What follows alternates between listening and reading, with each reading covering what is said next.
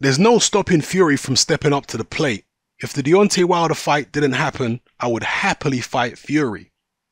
He's still two stone over when he fought Wladimir Klitschko. Even though he's lost weight, he's still two stone over his peak weight. When he's a couple pounds over, then I'll say he's at his peak again. Fury is not yet in condition. It's up to him. When he's ready, we're ready. What does Fury do? Two sessions a day? I would rather do two boxing sessions a day. He's been saying he does one boxing session and one run. Why? Are you trying to be a part-time boxer and a part-time track runner? I'd say get in the gym. Focus on your gym work. The best fighters spend more time in the gym than anywhere else. So those are the words of Anthony Joshua. Some interesting things he said there. If the Deontay Wilder fight don't come off in April, and obviously the contract is supposedly signed from Anthony Joshua's end. All they're waiting on is Deontay Wilder's signature, and that's assuming Joshua gets past Povetkin, and that's not a foregone conclusion. We'll see if Deontay Wilder takes it because there's nowhere else Deontay Wilder can go and get $15 million right now. Whether it's fair or not is really besides the point. Is Joshua and Eddie Hearn, are Joshua and Eddie Hearn greedy? Maybe they are. But where else is Wilder going to go to get a payday even remotely close to 15 million within the next six, seven, eight months? Tyson Fury might be a possibility. Maybe Alexander Usyk potentially a possibility if Deontay Wilder follows through with his uh, suggestion that he might go down to cruiserweight and become the first heavyweight champion to drop down to cruiserweight and win a title.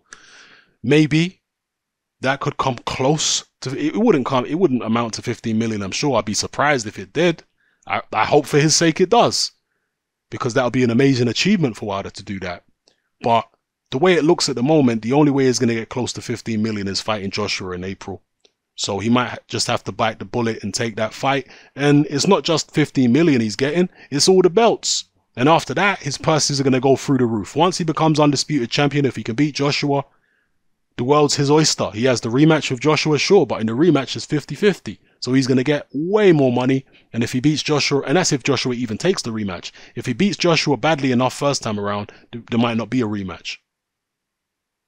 And even if he he does beats Joshua in the rematch, then he can go on to untold riches as the undisputed champion.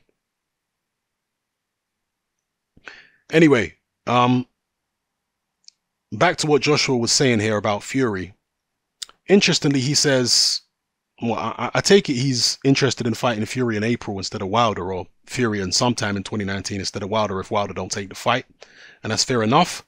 Uh, he talks about Fury not being ready right now, which is evident given the level of opposition Fury's been fighting and the fact he's taking on Pianeta in his next fight. Clearly, Fury's not ready. Uh, but he's questioning what Fury's doing in the gym. He's saying Fury should concentrate more on boxing sessions rather than running and all this other kind of stuff. But the same could be said about Anthony Joshua, right? Because people have said that he's, including myself, concentrating far more on resistance training. He says he don't do weights. I mean, whatever. You do some type of resistance training. And that's how you put on all those muscles, okay? He's obviously a naturally muscular guy to a certain extent, but he bulks up with a lot of extra muscle with all this resistance training that he does. And a lot of people, including myself, have said that he focuses far too much on doing all that kind of stuff. And he should be focusing more on actual boxing training, working on his technique, more so than his uh, physical strength and how much he can deadlift. So as much as he criticizes Fury for doing too much running, people can rightly criticize him for doing too much resistance training. Although Joshua's looking a lot slimmer these days. He was a lot slimmer in the Joseph Parker fight than he was against Klitschko or Takam. And when you saw him at the press conference for the launching of DAZN, he looked slim again. You know, he looked a similar kind of size to me as he was against Joseph Parker. Maybe he's going to come in even lighter than he was again because he, he he has talked in some recent interviews about losing weight. You know, after the Parker fight, he's still been talking about keeping his weight down and losing weight. So he might come in close to 240 or maybe under 240 for his next fight. We'll have to wait and see. It's going to be interesting. So perhaps what he's saying here is relevant to himself now. You know, perhaps he's seen the error of his ways in terms of spending too much time hitting weights when he should have been hitting the bag or hitting the pads or working on his footwork or shadow boxing or doing footwork drills and all that kind of stuff. Uh, sparring, so on and so forth. So maybe he's given Fury some advice which he's just taken on board himself. You know. Anyway, let me know what you guys think of this in the comment section below. All the things that Andy Joshua said here. And also the possibility of fighting Tyson Fury in 2019. Will Fury be ready in April? If they were to sign Joshua versus Fury, let's say Joshua beats Povetkin, and then they, and then they announce that they're signing Joshua versus Fury in April.